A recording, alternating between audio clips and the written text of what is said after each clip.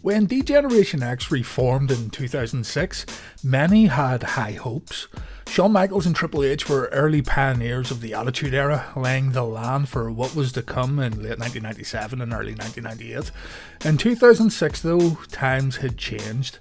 The landscape of the WWE was quite different, and along with this, the original degenerates themselves were very different people. Triple H was now married into the McMahon family, and Shawn Michaels had found God. The once disruptive, unruly, and boisterous duo of HBK and Triple H were now pretty settled down, and while many fans thought the reintroduction of D-Generation X would mean a return to anarchy in the WWE, Again, times had changed for not only Shawn Michaels and Triple H, but the WWE itself was a much different place when comparing 2006 to 1997. Still, DX's reunion gave hope to older fans of the WWE, and you best believe that the WWE would milk that hope for all it's worth. So in today's video, let's look at the 2006 reunion of D-Generation X. Triple H and Shawn Michaels had an excellent feud between 2002 and 2004, with Shawn as the babyface and Triple H as the heel. Their matches together were excellent, and I think this was the main reason why the DX reunion didn't happen sooner. HBK vs Triple H happened on multiple occasions throughout this time period, with some of their matches being bona fide classics. But we will talk about this feud another time. All you need to know is Shawn and Hunter in storyline were not on great terms going into 2006. The seeds were planted for a DX reunion at WrestleMania 22. HBK had a match with Vince McMahon at Mania because Shawn had told Vince to grow up and move on from the Survivor Series 1997 incident, something that Vince didn't take too kindly to. During the match, on top of a ladder, Shawn performed the classic DX crotch chop out of nowhere, getting a huge ovation in the process. It was odd seeing this. Shawn had not performed the crotch chop during his entire return run, and HBK harkening back to his old DX days got the fans going nuts at WrestleMania 22. That wasn't all though. Later in the night, Triple H had a match with John Cena, and Triple H also performed the classic DX taunt.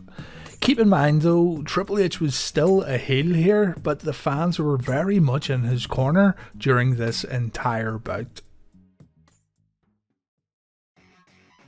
So this got the world talking. Why did HBK and Hunter do this in their separate matches? Raw the following evening gave us no hints at all about what was going to happen. Things just carried on as normal. Shawn remained a babyface and his feud with Vince McMahon would continue while Triple H would continue working as a bad guy. The April 10th edition of Raw the following week saw Vince McMahon and Shane McMahon attend church to mock Shawn Michaels and his tag partner for the upcoming pay per view. Yes, Vince McMahon and Shane McMahon were going to take on Shawn Michaels and God live at WWE Backlash. By the way, this segment with Shane and Vince going to church was great. If you haven't saw this, go out of your way to watch it. Also at Backlash, Triple H would be featured in a WWE Championship match, a triple threat showdown that also featured Edge and WWE Champion John Cena. It must have been decided then by the April 17th edition of Raw that DX were indeed going to get back together.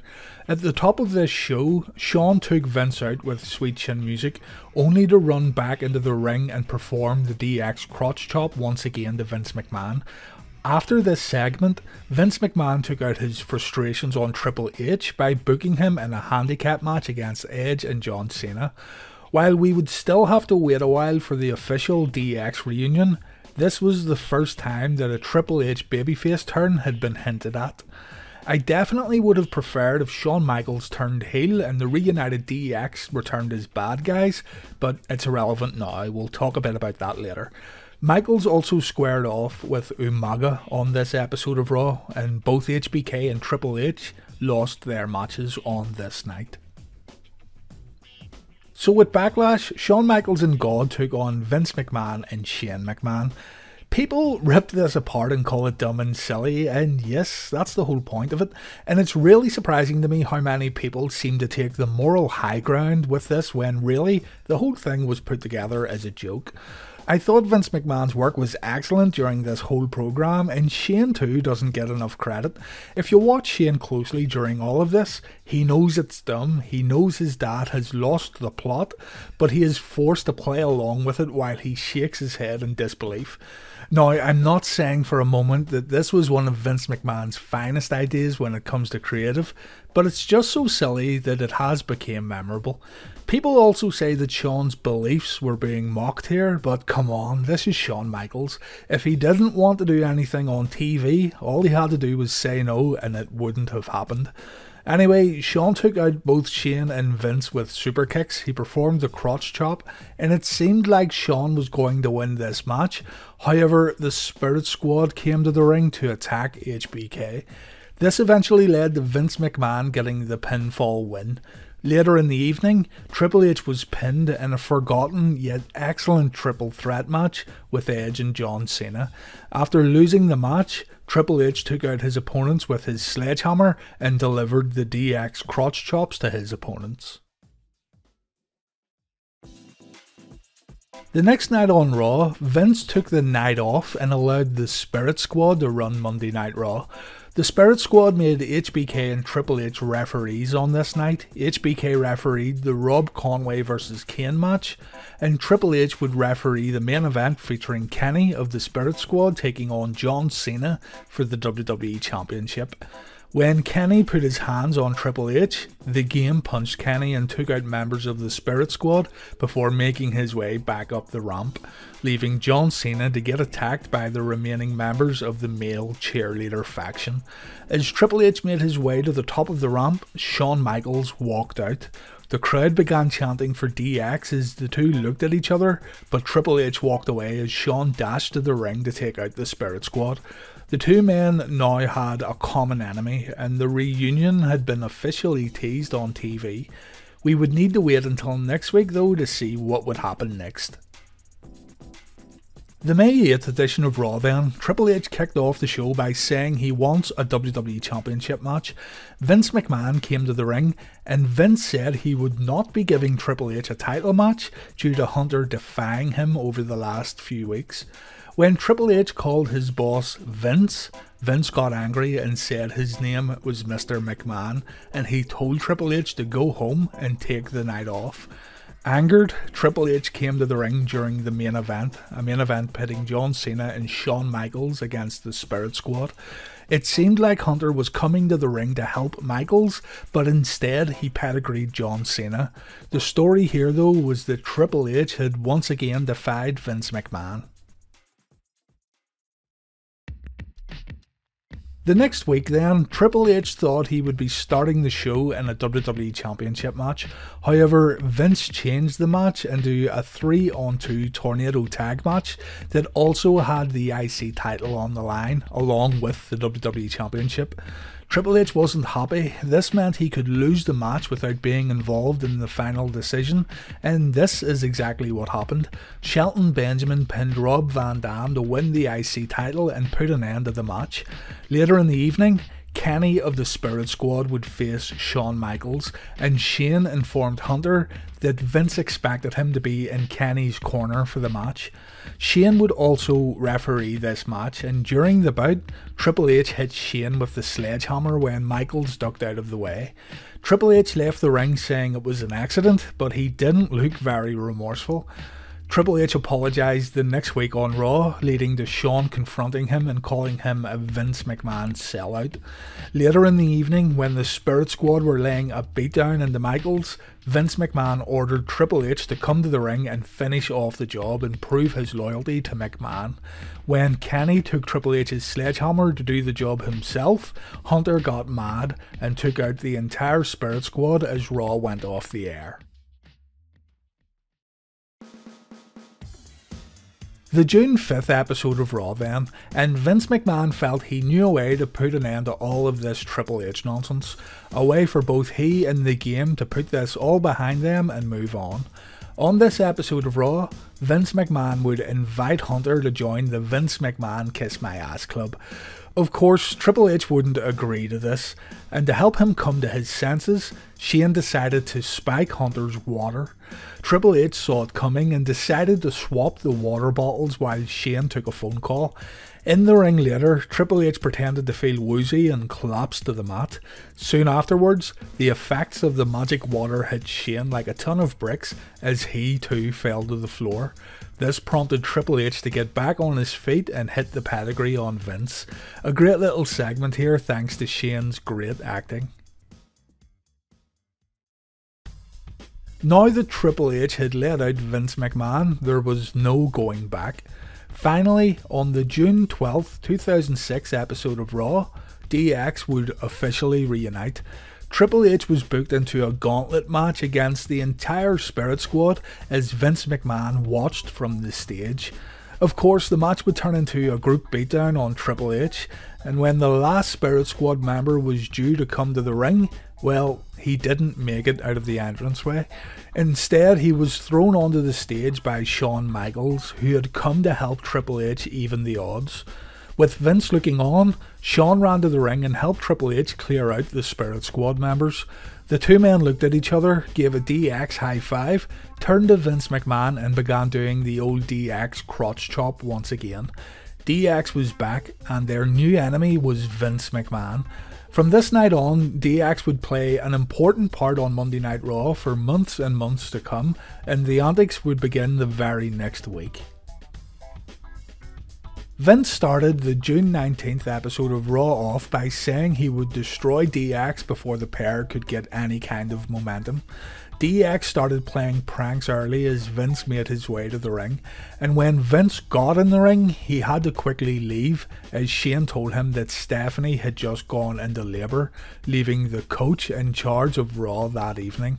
Of course, Stephanie wasn't in labour, this was another DX prank.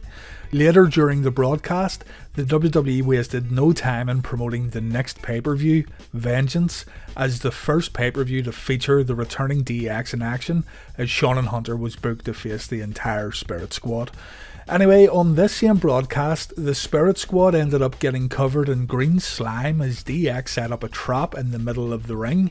DX destroyed Vince's office while terrorizing the coach. And in the final segment of the show, Shawn and Hunter made their way to the ring with the classic DX theme song once again playing in the arena. Shawn and Hunter went through their old routine as the crowd ate it up. The audience was going nuts here.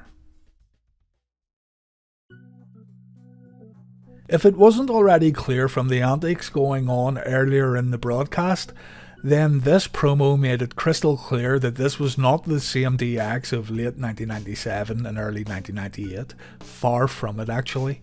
This DX was more about comedy and riding the wave of nostalgia and not so much about being company rebels, and this is something that still irks many wrestling fans to this day. I can see both sides of the argument here, and while I would have really liked to have seen the old DX of 1997, realistically, that was never going to happen. The old DX worked so well because of that time period, with the NWO making headlines in WCW, and the connection between the Outsiders and DX creating a compelling and interesting dynamic on Monday Night Wrestling TV shows. Right that kind of reality could never be duplicated. What maybe could have been done though, and something I would have preferred much more, was DX becoming heels during this 2006 return. Of course, DX became big merchandise sellers, and financially, having a babyface DX made way more sense.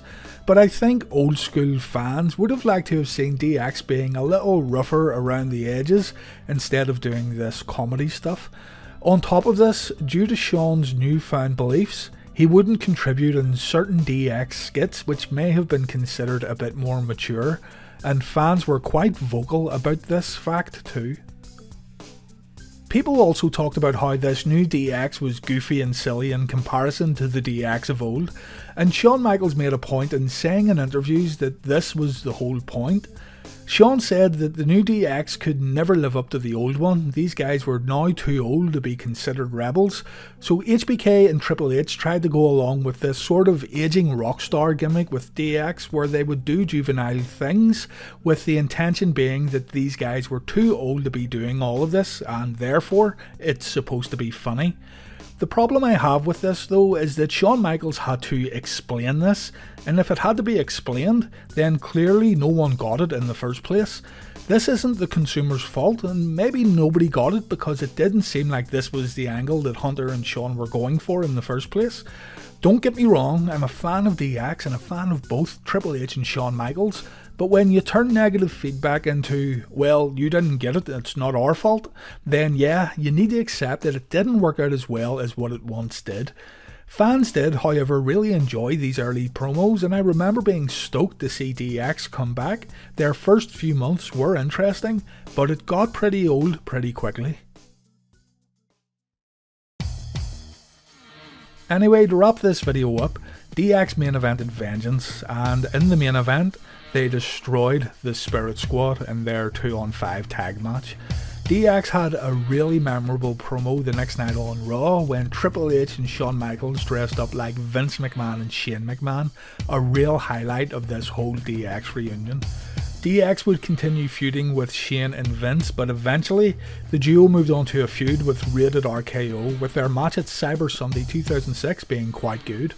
A rematch was booked for New Year's Revolution in January of 2007, and during this match, Triple H tore his quadriceps 15 minutes into the showdown. This took Triple H out of action for around 7 months, but Shawn continued to use the DX theme music and wear the DX colours. The group would again reunite down the road, but we will save that for another time.